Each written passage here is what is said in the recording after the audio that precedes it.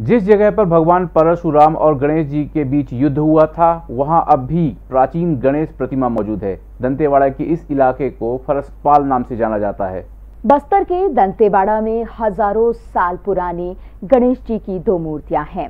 फरसपाल में समुद्री सतह से तीन हज़ार फीट ऊँचे पहाड़ की चोटी, ढोलकाल शिखर पर विश्व की अनोखी गणेश प्रतिमा विराजमान है। इस गणेश मूर्ति के एक हाथ में फरसा और एक हाथ में टूटा हुआ दांत है।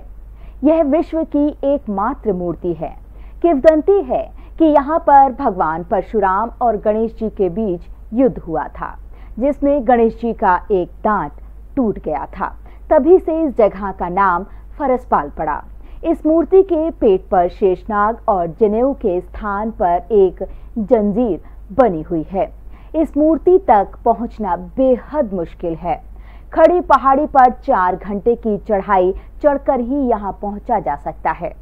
सबसे बड़ा आश्चर्य तो ये है कि साढ़े तीन फीट की इतनी बजनी मूर्ति को यहाँ तक पहुँचाया कैसे गया होगा?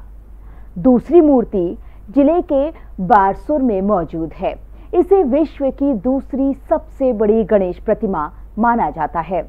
दंडकारण्य के इस क्षेत्र में प्रभु श्री राम ने वनवास का लंबा समय गुजारा है इसी कारण यहाँ पर स्थित एक जलप्रपात का चित्रकोट नाम पड़ा Rabindranath Tagore University, formerly known as ISECT University, the pioneers in skill development with focus on creating industry-ready professionals.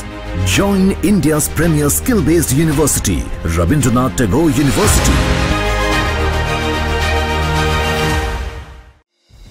संगीत की स्वर लहरियों से सांस्कृतिक ताने बाने तक चंबल के पीड़ों से नक्सलवादियों के गढ़ तक झोपड़ी से महलों तक ठेलों से मेलों तक पगडंडियों से सड़कों तक गाँव से शहरों तक व्यापार से उद्योगों तक। राजनीति से कूटनीति तक। दखन न्यूज़। आपके हक। में।